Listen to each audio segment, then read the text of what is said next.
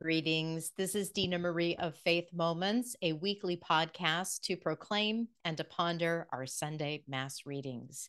We have entered the third Sunday in the season of Advent, and I've got my Gaudete third Sunday rose colored jacket on. It's the only rose colored jacket I have, but the beautiful liturgical color for the, the shifting of the season just a little bit. And we're going to get a sense of what is this particular Sunday out of the time of Advent reflect.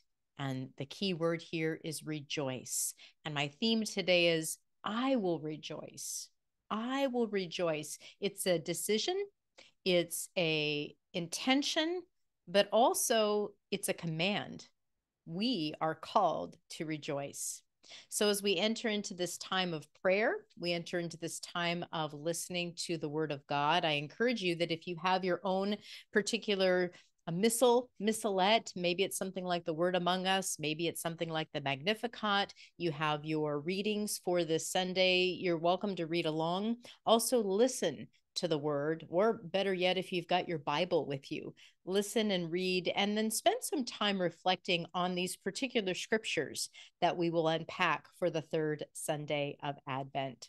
I want to welcome those of you who maybe are new to Faith Moments with Dina Marie. This is a weekly podcast that you can find on your favorite podcast platform. So if you go to any one of your favorite places to find your favorite podcast, you can type in Faith Moments with Dina Marie and it will pop up thanks to the great cooperation of Mater Dei Radio and their Hail Mary Media app. So if you're listening on the Hail Mary Media app today, I'm so grateful that you have downloaded that app and a challenge that I would give to you who are listening or maybe watching is to make sure that app is downloaded on your phone and then find somebody that you know and invite them and introduce them to the Hail Mary Media app and what I've done with a couple of people is just help them download it right on their phone. In fact, one day during our RCIA program this season so far, I had everybody open up their phone and get to their phone uh, where they can download apps, their phone store, and they just were downloading that Hail Mary Media app. So, what a great way to continue to walk with prayer and the Word of God, and some really great Catholic programs that are available on that Hail Mary Media app. Well, let's get into the third Sunday of Advent this year, year A, as we be- begin a whole new liturgical year. And these are such rich readings. So I just invite you to listen, to rest in the word, and to embrace the healing and the nurturing and the love that God wants to convey in his word. Our first reading comes from the book of Isaiah. And Isaiah is a very beautiful and prominent voice in the time of Advent, as many of you know. And this is Isaiah chapter 35. The desert and the parched land will exult the steppe will rejoice and bloom. They will bloom with abundant flowers and rejoice with joyful song. The glory of Lebanon will be given to them, the splendor of Carmel and Sharon. They will see the glory of the Lord, the splendor of our God. Strengthen the hands that are feeble, make firm the knees that are weak. Say to those whose hearts are frightened, Be strong Fear not. Here is your God. He comes with vindication, with divine recompense. He comes to save you. Then will the eyes of the blind be opened, the ears of the deaf be cleared. Then will the lame leap like a stag, then the tongue of the mute will sing. Those whom the Lord has ransomed will return and enter Zion singing, crowned with everlasting joy. They will meet with joy and gladness. Sorrow and mourning will flee. The word of the Lord. The responsorial psalm is Psalm 146 Lord, come and save us. The Lord God keeps faith forever, secures justice for the oppressed, gives food to the hungry. The Lord sets captives free. Lord, come and save us. The Lord gives sight to the blind. The Lord raises up those who are bowed down. The Lord loves the just. The Lord protects strangers. Lord, come and save us. The fatherless and the widow he sustains, but the way of the wicked he thwarts. The Lord shall reign forever, your God, O Zion, through all generations. Lord, come and save us. Our second reading is from the book of James, chapter 5. Be patient, brothers and sisters, until the coming of the Lord. See how the farmer waits for the precious fruit of the earth, being patient with it until it receives the early and the late rains. You too must be patient. Make your hearts firm, because the coming of the Lord is at hand. Do not complain, brothers and sisters, about one another, that you may not be judged. Behold, the judge is standing before the gates. Take as an example of hardship and patience, brothers and sisters, the prophets who spoke in the name of the Lord. The word of the Lord. Alleluia, alleluia. The Spirit of the Lord is upon me because he has anointed me to bring glad tidings to the poor. Alleluia, alleluia. Our gospel reading comes from Matthew chapter 11. When John the Baptist heard in prison of the works of the Christ, he sent his disciples to Jesus with this question Are you the one who is to come, or should we look for another? Jesus said to them in reply, Go and tell John what you hear and see. The blind regain their sight, the lame walk, lepers are cleansed, the deaf hear, and the dead are raised, and the poor have the good news proclaimed to them. And blessed is the one who takes no offense at me. As they were going off, Jesus began to speak to the crowds about John. What did you go about what did you go out to the desert to see? A reed swayed by the wind? Then what did you go out to see? Someone dressed in fine clothing? Those who wear fine clothing are in royal places. Then why did you go out? To see a prophet? Yes, I tell you, and more than a prophet. This is the one about whom it is written Behold, I am sending my messenger ahead of you. He will prepare your way before you. Amen, I say to you, among those born of woman, there has been none greater than John the Baptist. Yet the least in the kingdom of heaven is greater than he. The Gospel of the Lord. Praise to you, Lord Jesus Christ. Again, this is the third Sunday in the Advent season. If you have been lighting the candles around your Advent wreath, violet, violet, rose, violet. So we've hit the rose color, that beautiful color of joy, of rejoicing. And this is one of two Sundays in the whole liturgical year where we formally have this color rose. We'll have it at Gaudete Sunday, the third Sunday of the Advent season, and then Laetare Sunday, the fourth Sunday in Lent. Lent, Laetare, Gaudete, Advent. Maybe you can remember it that way but it's this we're turning the corner just a little bit. We're getting closer to the end goal. What we've been preparing for is coming closer. And Advent again is a season of preparation in preparation, like in any preparation, you're preparing to study for a test, a final exam,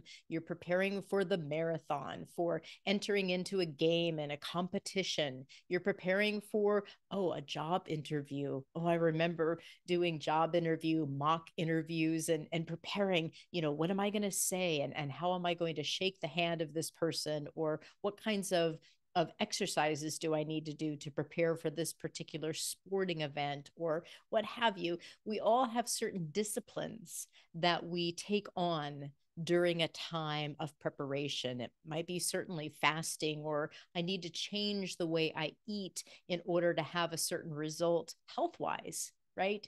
There are so many ways that we prepare ourselves intellectually, emotionally, spiritually, physically, John the Baptist for his whole life was preparing for the role he had. This is why last week we heard about him, you know, wearing the camel's hair and eating the the locust and living out in the the desert. You know, he took seriously his mission and what he was prepared to do to prepare the way of the Lord. And so even down to his clothing and where he lived and how he lived his life, John the Baptist conformed to how the Lord was calling him and using him for a particular for a particular mission and that was to prepare the way for the lamb of God.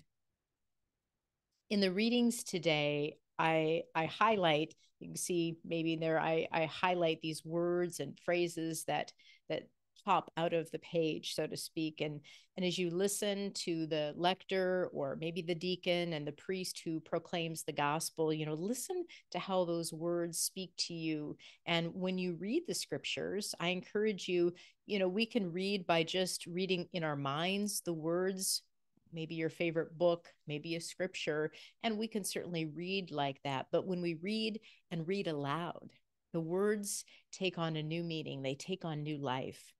And so I want to read this scripture, Isaiah, earlier in the week. Actually, I believe it's on Monday, December 5th. We get the entire Isaiah section 35, verses 1 through 10. And I just want to read for you the verses that we didn't get today. And if you have your missalette like this, go back to December 5th the Monday of the second week of Advent and read that whole scripture of Isaiah because we're hearing, here's some of the phrases that jumped out to me in Isaiah chapter 35. And thinking about this theme, I will rejoice. And, and we can say that I will rejoice. This is how I'm going to choose to live my life. And God is asking us to rejoice. And then God is joy. God is rejoicing. And particularly as Jesus is revealed through his birth and, and showing the world who the Messiah is. And now he's beginning his public ministry. We see John the Baptist reflecting, rejoicing. The world is rejoicing. And this is the world rejoicing. The desert and the parched land. Have you ever been in a really dry place? I mean, I live in the Pacific Northwest, and so it rains all the time, and all around us is luscious green. It's hard for me to imagine, you know, the parched land. But we also have Eastern Oregon, and we have these areas where it's really dry, and there's lava stone, and there's hard rock. And so I can imagine the the dryness and the and the the desolation. But that the desert and that parched land would exult it would be different than what it's supposed to be a complete opposite right? The steppe will rejoice and bloom. It'll grow. It'll have new life and rejoice with joyful song. Can you imagine all of creation rejoicing with joyful song? This is the hopefulness that Isaiah brings to these words in scripture. It's just beautiful. And he continues on beautiful words of encouragement. If you're going through a rough time right now, I am. I'm going through some rough times. Uh, in fact, um, my own family is going through rough times, but we're working with an RCIA group in our local area. And we went around the table of all the different people asking for prayer intentions, and everybody has got something going on a loved one in the hospital, a loved one who's sick and suffering, a loved one who's who's who's in some type of surgery or recovering. We've got relationships that are severed and broken. I, there's just so many things. And in your life, the same. And and then I hear Isaiah, be strong, fear not. And here's a beautiful line. Highlight this. Here is your God. He comes with vindication, with divine recompense. With a compensation, you know, we can maybe compensate for one another when something's gone wrong. Your boss might compensate you for the work that you do.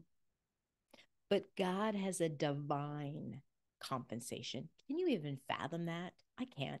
It's amazing. It's incredible. It's infinite. He has a divine recompense. He comes to save you because God's divine recompense is salvation, salvation itself. Here's some of the lines that you didn't get to hear in today's reading in the Sunday, but you did on Monday. Streams will burst forth in the desert and rivers in the steppe. The burning sands will become pools, and the thirsty ground springs of water. Can you just see how this new life is bursting forth out of what is so hard and dry and arid and doesn't seem like any new life would happen? The abode where jackals lurk will be a marsh for the reed and the papyrus. Ah, listen to this. A highway will be there called the Holy Way. No one unclean may pass over it. No fools go astray on it.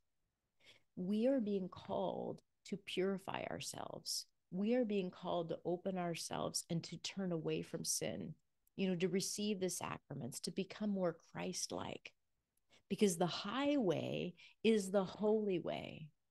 Once it, oh, excuse me, no lion will be there, nor be, nor beast of prey go up to be met upon it.